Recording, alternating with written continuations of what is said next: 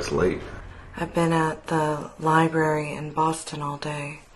Hey, do you remember that one time from years and years ago, that seance when I asked about werewolves? and they told me um, about these ancient werewolf packs, and then it kind of led me into Ed and Lorraine Warren's werewolf case. Do you remember? Maybe I'm having a hard time hearing you. Are you there? Hello?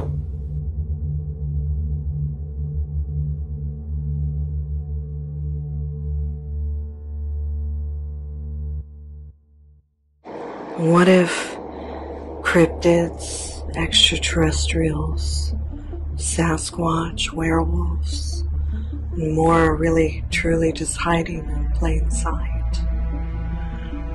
I mean, clearly, ghost angels and demons exist and they communicate. And I'm recording their voices while they are literally hiding in plain sight. What does this mean? What else is out there? A few references to men changing into wolves are found in ancient Greek literature and mythology. They were transformed into wolves once every year for several days, and then changed back to their human shape. There are so many stories about werewolves all throughout history.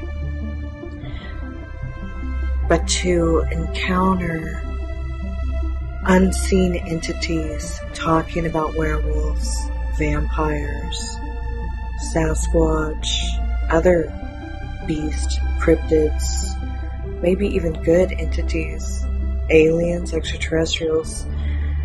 This is like a whole nother level of adding to history. I've encountered unseen entities speaking of ghosts, demons, devils, angels, werewolves, vampires, other cryptids. Now it's just a matter of what I do with it. Before America had witch trials, Europe had werewolf trials. Some 200 years before the witch trials in Salem, Massachusetts, where I live, courts in Europe were convicting men and some women of transforming into werewolves and mutilating and eating children. The punishments were sometimes as gruesome as the alleged crimes. In Germany in 1589, executioners strapped accused werewolf Peter Stump to a cartwheel, removed his skin with hot pincers, and chopped off his head before burning his body at the stake. Stump's head, attached to a wooden pole carved into the likeness of a wolf, was later displayed as a warning to others tempted to consort with, well, the entity they call the devil. The concept of humans transforming into wolves goes back millennia. Lovers turning ex-lovers into werewolves. In Greek mythology, King Lycaon of Arcadia tests Zeus's omnipotence by feeding him disguised human remains and is turned into a werewolf as punishment. His name is the root of the term lycanthropy, used for both changing into a werewolf and the delusion of being one, a recognized psychiatric condition for several centuries. Charges that real people could be menacing werewolves surfaced as part of the witch trials that swept through parts of Europe 1400s. I wrote all about the witch trials in my book Discovery of Witches. There's a lot to know and understand when it comes to that history, and I will be sharing that in a Salem witch trial seance in the near future. An Irish legend tells of a Catholic priest who gave communion to a dying werewolf. In the Middle Ages, legends and folk tales full of monstrous creatures were popular. One favorite fearful image was the werewolf, a being that is half human, half wolf. The mythical creature is found in many stories in Ireland. The Irish priest encountered a real werewolf. He beheld a she-wolf who under that shape pouring forth human-sized groans. On seeing priest having saluted him with human courtesy, she gave thanks to God. The priest was hesitant to give the werewolf communion, but eventually submitted to the request. There are many other stories from Ireland that highlight the presence of werewolves and reveal a more human side to the typical terrifying tales that most hear. The wolf was a female. It says here in the text, he beheld a she-wolf who under the shape pouring forth human sighs and groans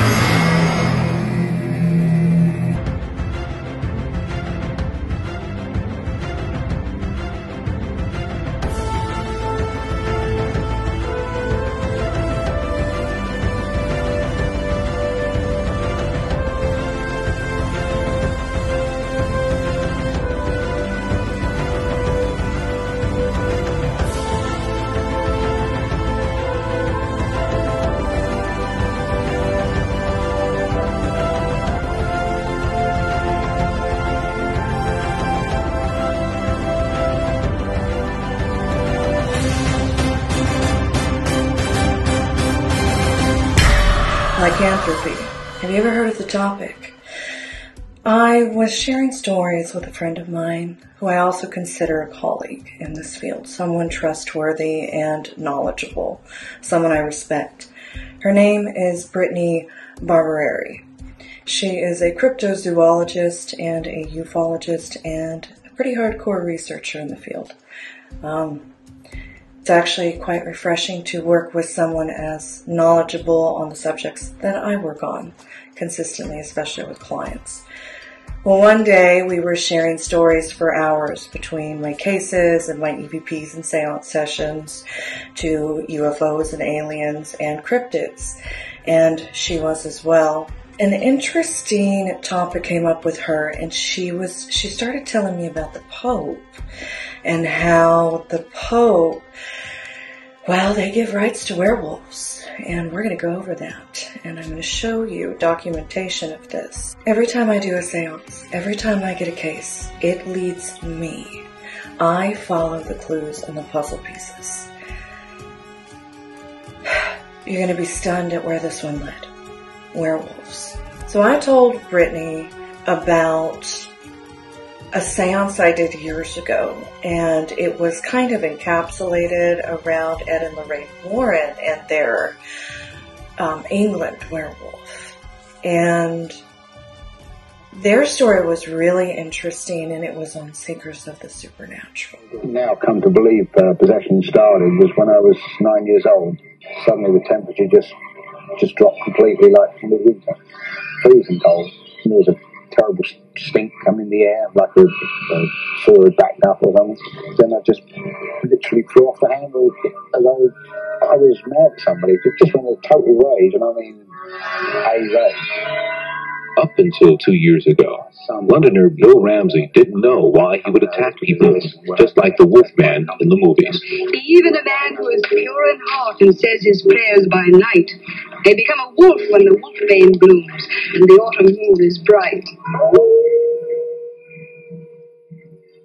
I had a very big bad attack and nearly killed a police officer at Southend Police Station. That was in 1987, July 1987. Ramsey was put in an institution. They ran all the tests, the brain scans, and all this kind of stuff. But all the brain scan can really tell you is not what's wrong with you, it's really what isn't. Ramsey said it got to a point where he can actually sense a change coming on. So he would drive himself to the police station and the bobbies would lock him up. In here, he says, is where others would be safe.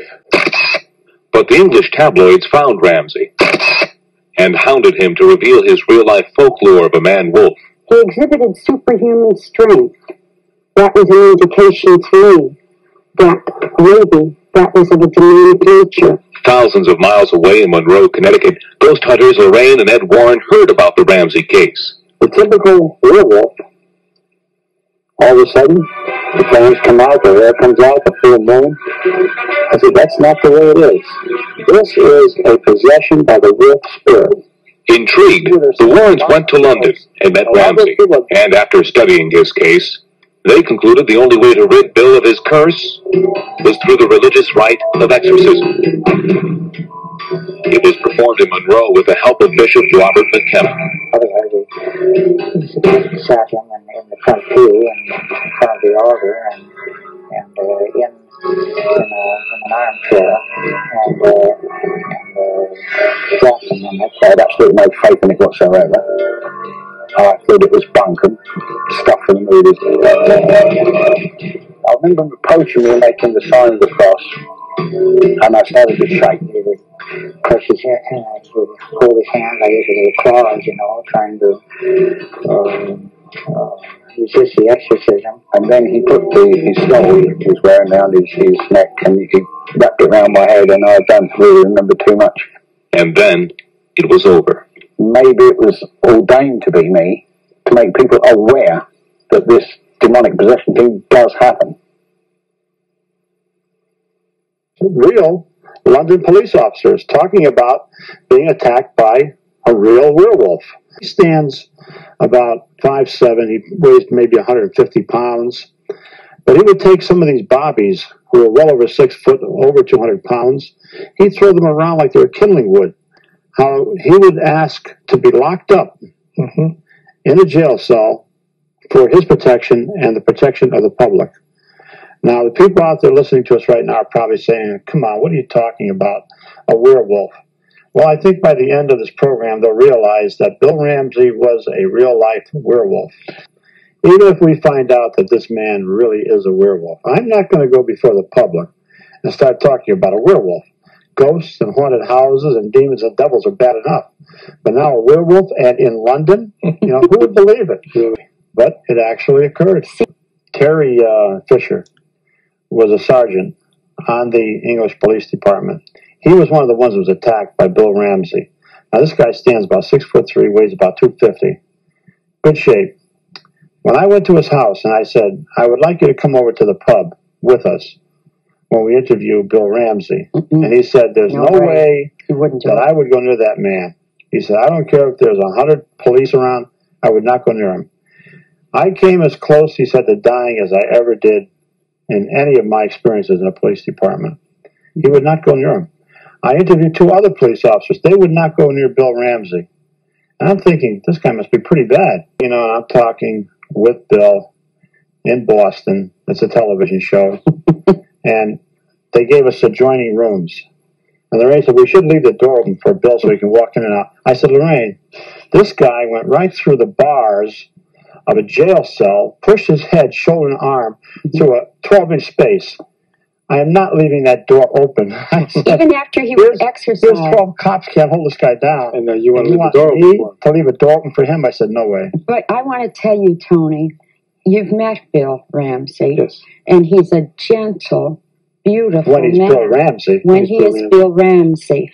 But during the exorcism of Bill on that July day in 1989 in that church, anybody that's listening to this program right now hmm. that would find it difficult to believe that such things as a werewolf exist, they would should have been in that church. That I, th- I think what we ought to do is show that. I, I was going to say, I know you brought a film. Maybe uh, talk over the film before it starts, maybe, and just fill us in real quick Well, what it's about. yeah, what we're doing here is now, uh, Bill Ramsey's in our home. Uh, Kevin Hogan, uh, who was with a local television station, was there with us. We are talking with him, and he's asking Bill about how all of this came about.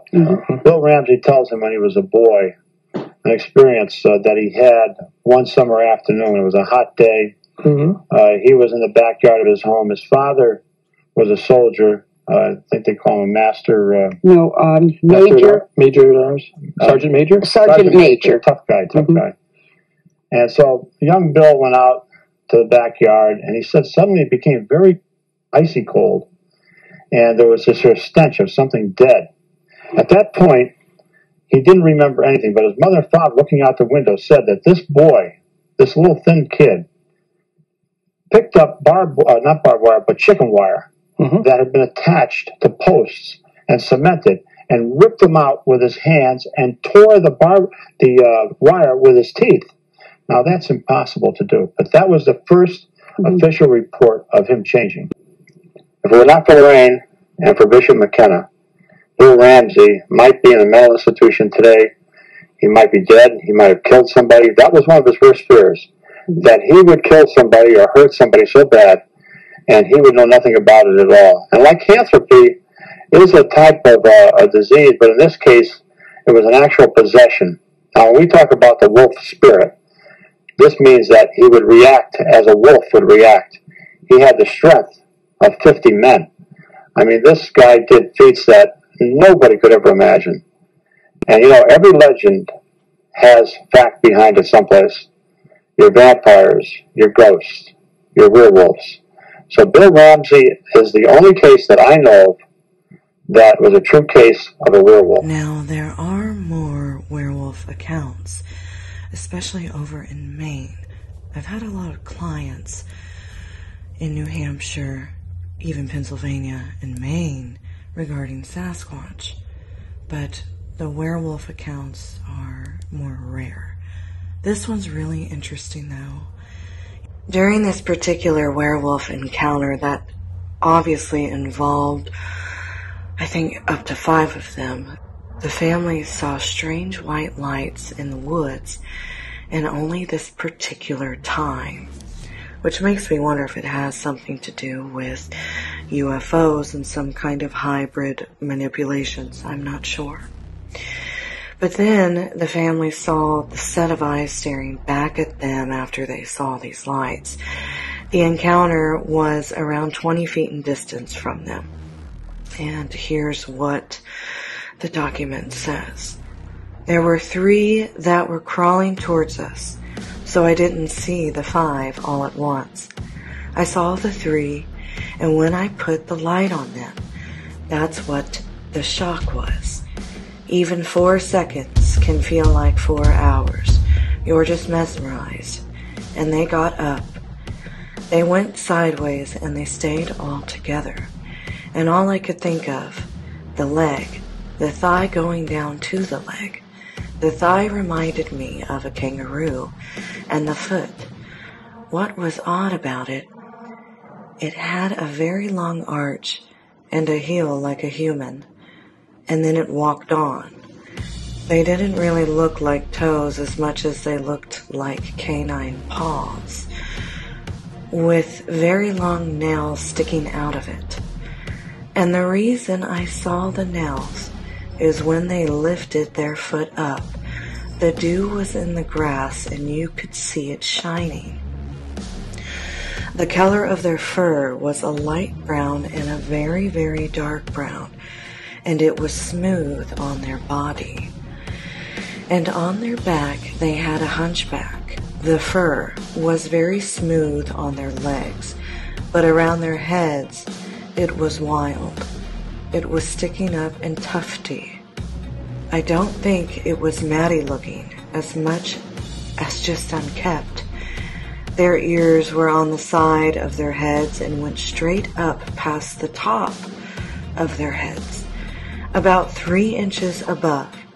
It looked similar to how someone looks when they cover their ears and their hands when they don't want to listen to someone or want to block out loud noise. Their eyes were huge and they were a greenish yellow fluorescent bright, and the bridge of their nose was about seven inches. They were about seven feet tall. We measured from where he was standing by that ten foot door.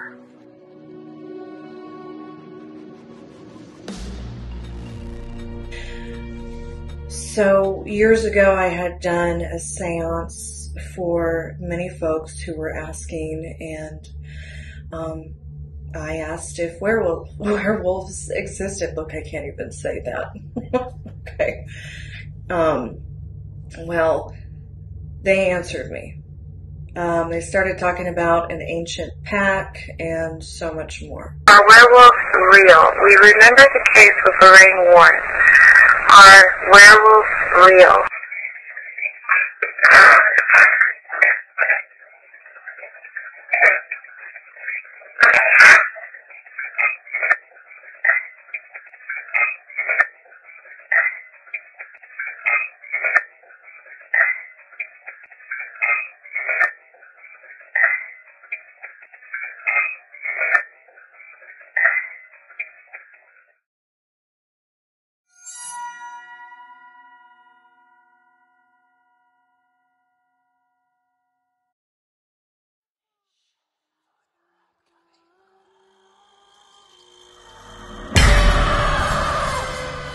So this gets even more interesting as I go along. You know, I never really shared that with many people unless lycanthropy comes up with a client or a subject. I don't really share these things. So here's something really interesting. I have met detectives in the past. I've worked with deputies all over the country. Um, and retired detectives have given me their own paranormal investigation stuff. You know, when that person and their spouse wanted to just kind of move on with their lives. Sometimes they don't always like to fathom everything in this field. And there was one group of detectives that found this big steel box in the middle of the woods. And I can't remember how they got to that point.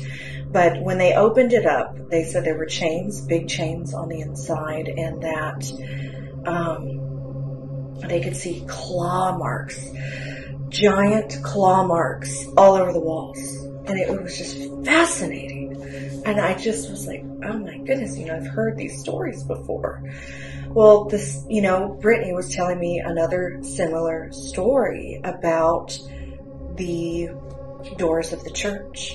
The gut clenching black shuck the enormous brute very casually broke the rules of demonology as it barged into the St. Mary's Church on a stormy night in the 16th century. It charged the worshippers and littered the holy grounds with bloody cadavers mutilated by its demonic teeth and claws. The story says that on August 4th, 1577, Black Shuck attacked the congregation of two churches 12 miles apart from each other. There are many folklore stories pertaining to ghostly black dogs of Britain. However, Black Shuck is specific to East Anglia, where it roams the forest and countryside. The most well-known story surrounding this demonic creature is the 04 August 1577 attack on two church congregations. On Sunday, August 4th, 1577, a terrible thunderstorm broke out in the town of Bungay. The storm was described as darkness, rain, hail, thunder, and lightning, as was never seen the like. The weakly thatched cottages of the helpless townfolk were fiercely being swiped away its rage. The townfolk hoped for a miracle to save them. They knelt at St. Mary's Church, the religious heart of the town, and prayed for help. As the people prayed, lightning struck the church. In that same instant, a gigantic black dog appeared before the entrance, showing its bloodthirsty fangs. What happened afterward is described by the following olden verse. All down the church in midst of fire, the hellish monster flew, and passing onward to the choir, he many people slew. Black Shuck dashed in, tearing off people's throats and strangling worshippers with its front paws. Heat radiating from its foul physique instantaneously vaporized anyone nearby. Then, after satisfying its appetite with the horrified screams of masses, the dog suddenly disappeared, reappearing 12 miles away at the Holy Trinity Church. There it resumed its brutal activities, ripping the lives out of innocent victims. Then it shows here what are the facts. Scorch marks on the Holy Trinity Church. Records of the St. Mary's Church report a huge thunderstorm did break out on that date. Additionally, two people were found killed at the belfry. However, there is no elaboration as to the circumstances and cause of their death. According to some people, the north entrance door to the Holy Trinity Church shows several scratch marks allegedly made by the claws of Black Shuck. Black Shuck description. Sightings of black shuck occur at historical cemeteries, ancient pathways, lonely forests, and old water bodies of England. It was also appeared it has also appeared at traditional festivities and rituals. Its size is said to be that of a calf or a horse. The beast has blood red eyes, glistening teeth, and shaggy black fur. Sometimes it is known to guard cemetery corpses and antiquated areas, whereas sometimes it is seen as an omen of death, foretelling the immediate death of the seer. Rarely, it also appears as a benevolent spirit guide and defender of the weak. So I take it upon myself one day. I'm like, you know what? I'm just going to do a session. I'm going to do a seance. I've kind of put the werewolf lycanthro- lycanthropy thing on the back burner for years. I did it with all sorts of cryptids. I always focused on angels, demons, ghosts, um, other little weird creatures that I've seen. Um, you know, and that was the majority when it came to my cases but I think it's time that I share this and what I documented this past week. In seance, I asked, okay, spirits, angels, what can you tell me about werewolves?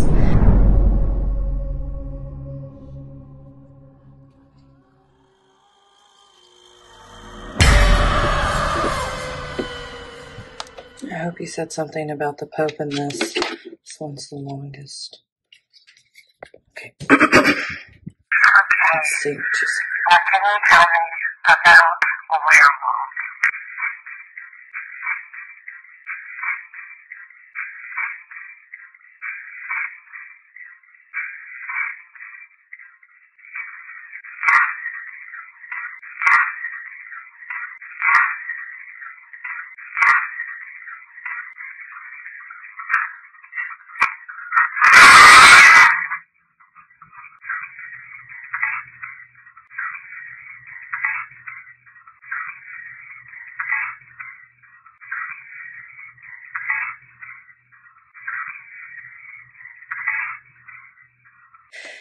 They said um, lycanthrope, um, antidote, some things that were inaudible that I just could not understand. Michael Vodun, Vodun, and I didn't even want to tag that or mark it in my EVPs. I could hear Michael clearly, but I was like, Vodun, Vodun. It was interesting. And so I'm like, okay, I'm going to stop right here before I analyze any further in my analysis procedure. And I go and I type in basically all that statement. I found a story with a gentleman or an entity, a character called Michael Vodan, Vodan. I can't really sit, pronounce that last name. It's so interesting that they mentioned this identity and it, the story it goes to where he was basically the one who made a deal with the devil himself, the entity, the devil, and became a wolf man. So I'm like, I cannot believe this, and I'm telling, I'm texting and voice messaging Brittany and another friend of mine about this, and we're just like, whoa. So I'm like, okay, I'm going to get back to analyzing, and they said more. So if you just want to have a little bit of fun and dig deeper into this, it gets really deep when you dive into the werewolf trials that were before the witch trials of America. And that is where this Michael character is spoken of and much more. So after they mentioned this Michael, they said his werewolf hunted, hunted for the majesties.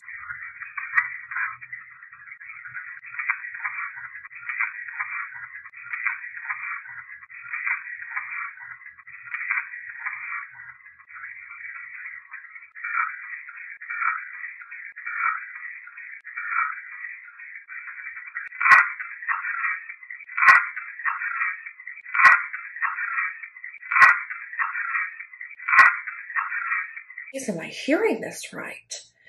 And so I'm like, okay, let me just start with some of my books. And then I started researching in some other databases. And the Majesties are a group of extremely religious males. So after this, the spirits and angels that I work with, they told me, they said, the priest, they lied prideful guild.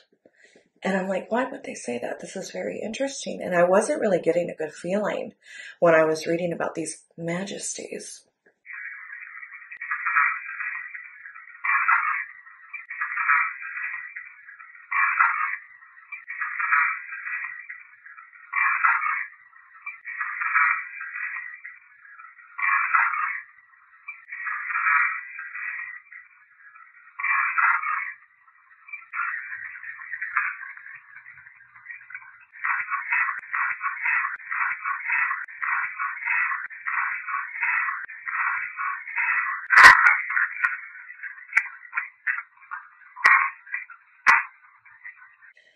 So then they said, in the pack, a lot of loss.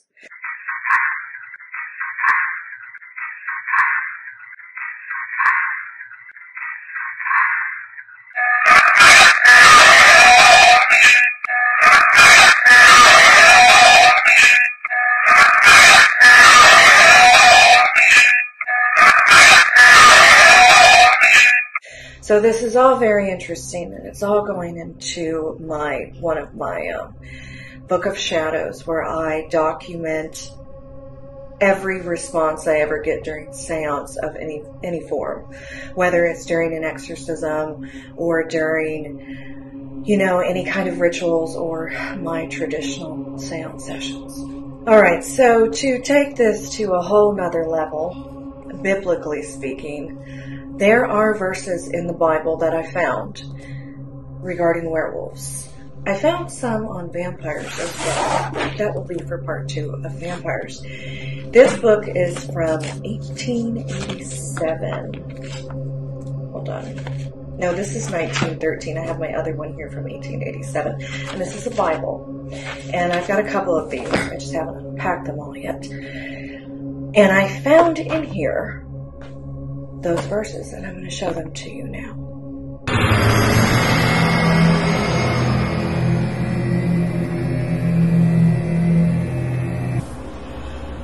Right here. At that moment was the word fulfilled upon, and from men he was thrust out, and he ate grass as oxen, and his body was moistened with the dew of heaven till his hair was grown like eagle's feathers, and his nails like birds' claws. So there's one. Okay, so here is Genesis 49:27. Benjamin will raven as a wolf, will raven as a wolf, as a wolf. In the morning he will devour the prey, and at evening he will divide the spoil. So that's another reference to werewolves. All right, so, yeah, okay. All right, so now it's Genesis 4 7. Is there not, if thou dost well, a lifting up? And if thou dost not well, sin is crouching at the door, and toward thee is his desire, and thou shouldest rule over him. All right, Matthew 7:15. Beware of false prophets who come to you in sheep's clothing, but within are ravening wolves. But within are ravening wolves. Wolves. Get it. Look at that there.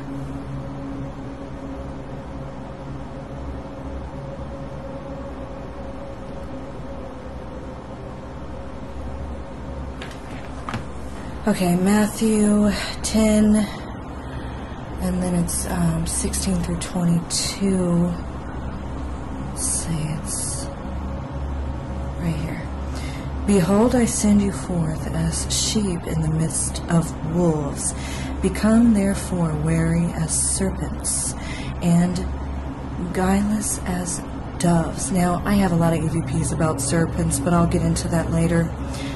But beware of men, for they will deliver you up to the councils, and in their synagogue they will scourge you. And before governors also and kings will ye be brought for my sake, for a testimony to them and to the Gentiles. But whenever they deliver you up, be not anxious how or what to speak, for it will be given you in that hour what to speak.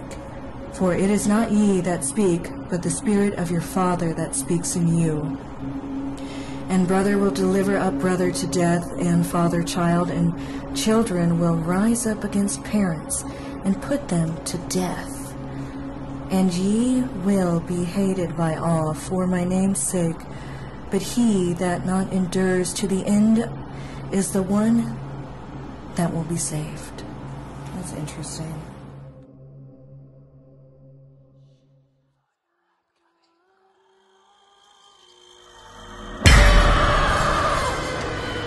All right, so here's Boston, Massachusetts. Here is Salem, Massachusetts, witch city? Okay. Here is where I almost bought a house, and I still may one day. But what's interesting is that is exactly where the werewolves have been sighted over here in Dog Town, right in this area. That's crazy. I am literally there all the time, sometimes on a weekly basis. I've slept in my truck in these areas, and this is insane because the werewolves have been sighted on the cliffs in these areas. So I'm going to tell you the story real quick. Okay, I'm going to tell you a story about a man who encountered a werewolf and the men in black and what happened.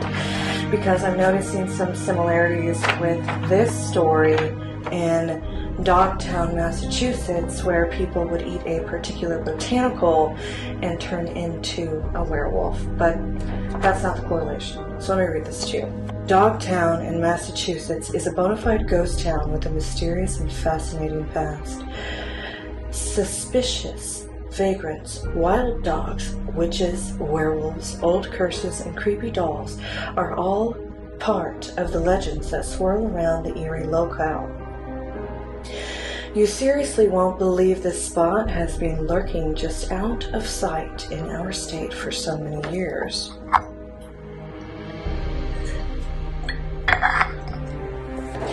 Settlers began moving to the area in 1693, mainly because the spot's inland locale granted protection from pirates and from hostile native peoples who were understandably annoyed at the uninvited guest. At its peak, 1750 through 1800, Dogtown played host to around a hundred families. After the War of 1812, most farmers moved away from Dogtown. Fears of coastal attacks were dwindling, and new roads were being opened between Rockport and Gloucester. I house in Westminster should have. This is when all the trouble started. As respectable families took off, their abandoned homes began filling with vagrants and unsavory people looking for a place to lie low. Those without a family to follow also remained behind. Widows and some independent single women. Rumors began to brew that some of these had stayed in order to practice witchcraft. Strange booming sounds began to be heard coming from the town, and travelers reported flickering lights and figures in the surrounding forest. And what about the name? Originally known as the Common Settlement, Dogtown got its name from the roving population of feral dogs that were known to inhabit the town. That's where the correlation is, and I'm going to explain this, but let me finish reading first. Many of the widows of lost sailors and soldiers kept dogs from or for protection and companionship. Whether it was the death of their owners or some more unexplainable force, these pets became feral and took to wandering over the nearby moors and howling.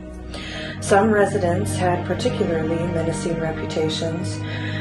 Thomasine Tammy, younger, was known as Queen of the Witches. Tammy lived on Fox Hill by a Alewife Brook and was reported to curse teams of oxen transporting fish from the nearby harbor as they made their way through the Dogtown area.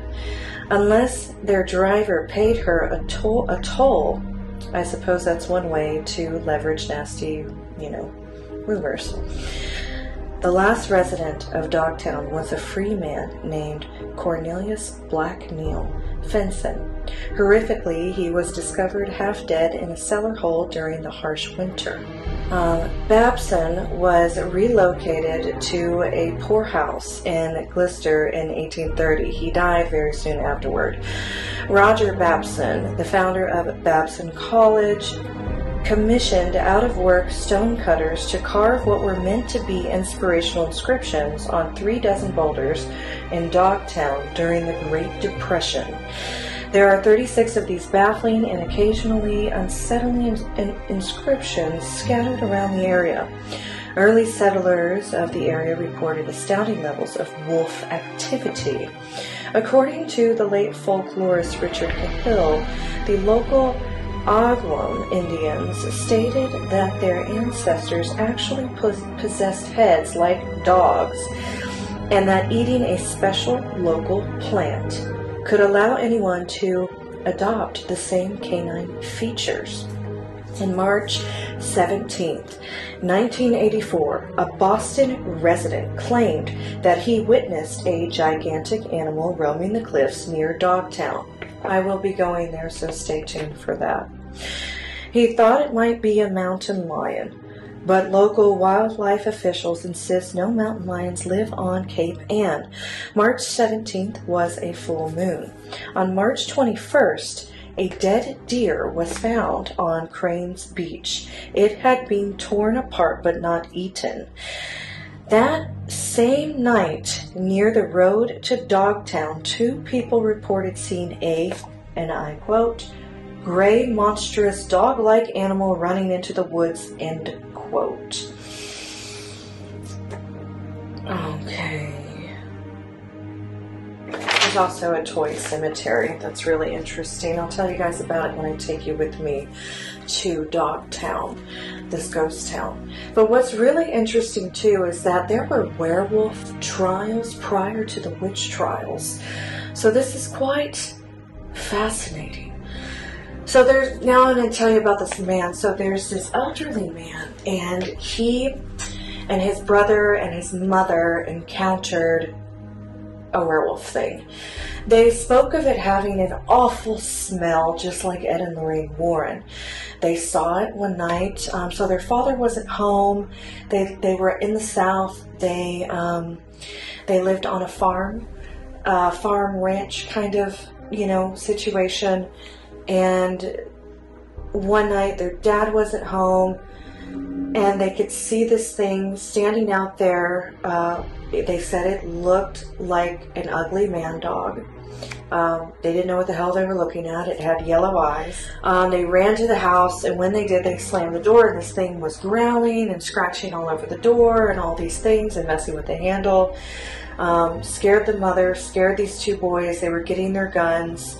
Well, their dad had come home later, and because the thing had left, I suppose, and their dad came home later and said he was going to give them a whipping if they didn't stop lying until their mother intervened and said, No, I don't know what it was, but this really happened. You know, the scratching on the door, the hearing the growling, you know, this really happened, she told her husband.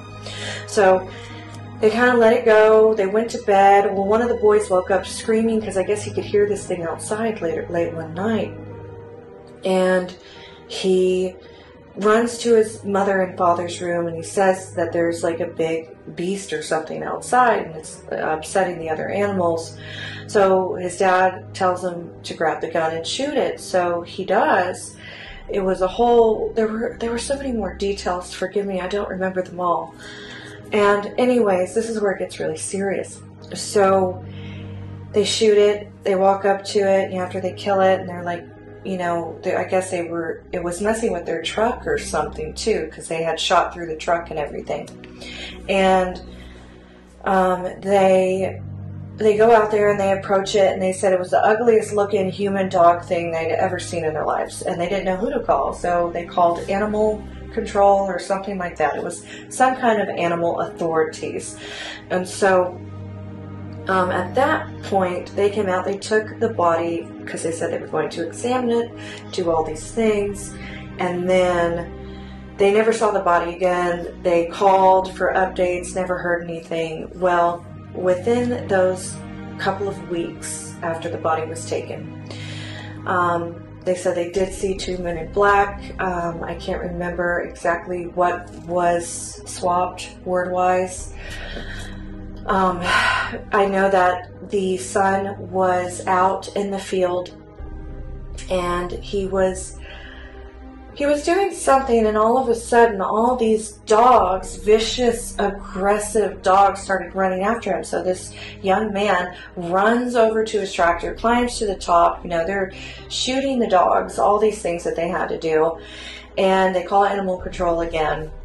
And um, you know they took the dogs away and what I remember what this old man said, and he really was not happy to talk about this. And it, it, was a good, you know, 30, 45 minutes with all the details he remembered from his childhood. He said that there were never any wild dogs out there. He said they only appeared after these men in black, after this big beast thing, deformed beast dog man thing that they shot uh, was taken off and they never heard about it, saw it, anything again.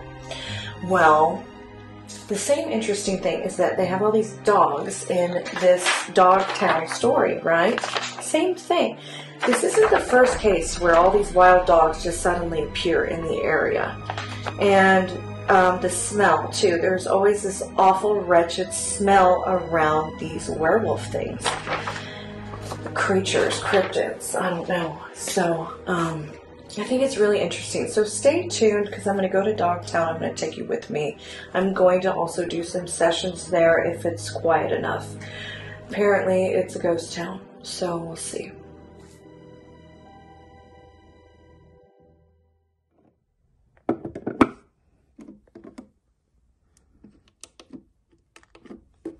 Okay, what can you tell me about werewolves?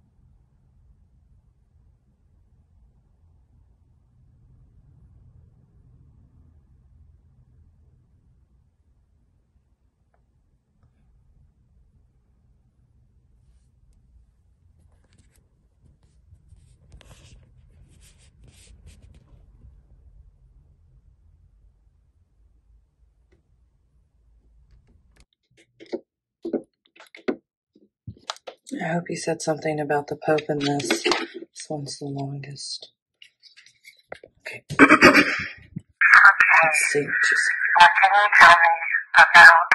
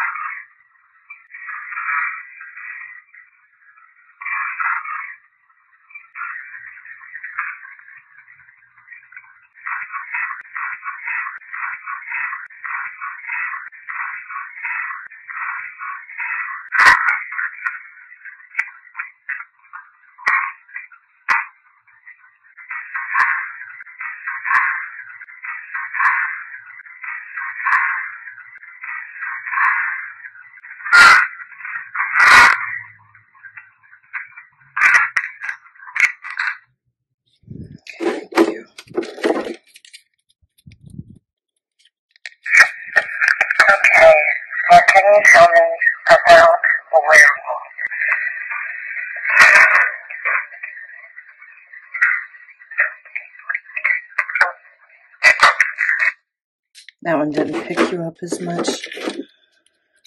I'm not sure if this one got anything. Okay, can you tell me